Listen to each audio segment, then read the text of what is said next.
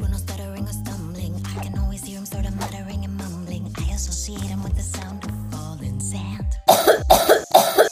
it's a heavy lift with a gift so humbling. Always let Abuela in the family fumbling. Grappling with prophecies they couldn't understand. Do you understand?